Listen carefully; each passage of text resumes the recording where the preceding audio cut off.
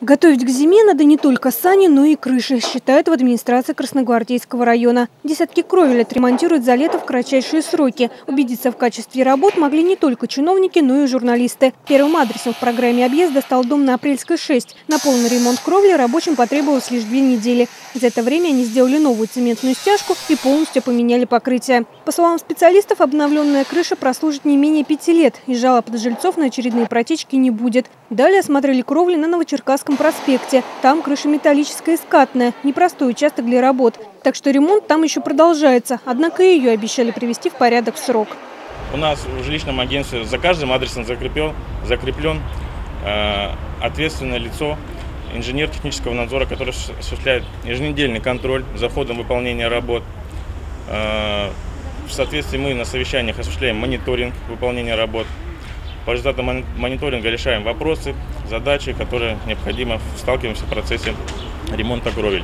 После прогулки по крышам в администрации района подвели итоги объезда, а также обсудили, что еще предстоит сделать по ремонту кровель. Из 290 адресов на совещании рассмотрели около половины. Выяснилось, что по каждому четвертому объекту есть отставание от графика. Глава района приказал разобраться в ситуации и следить, чтобы работы выполнялись максимально качественно. К слову, большую часть крыш планируют отремонтировать к 1 сентября.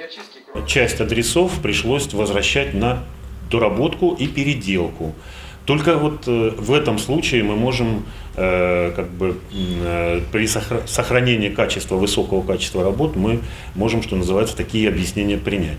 А то, что жилищные и подрядные организации ссылаются на сложности, на трудности, мне кажется, что это не объективные причины, и здесь мы будем разбираться и наказывать виновных. Подобные совещания будут проводиться раз в две недели. Кроме того, Георгий Мещеряков призвал жилищные организации привлекать население, и чтобы те оценивали качество ремонта кровли. Ведь именно они в первую очередь заинтересованы в добротных крышах и отсутствии протечек.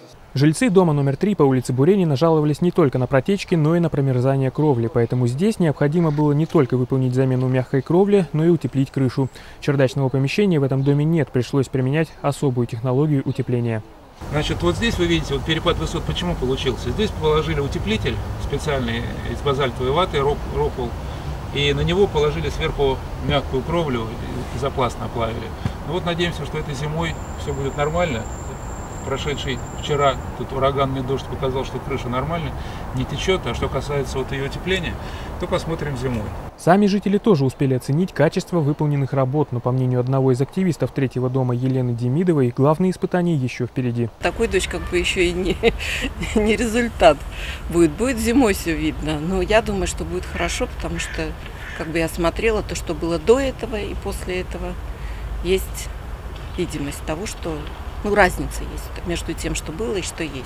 Михаил Гусев ремонтом этой крыши остался доволен, но чиновник отметил, что дополнительный контроль за выполнением кровельных работ не помешает.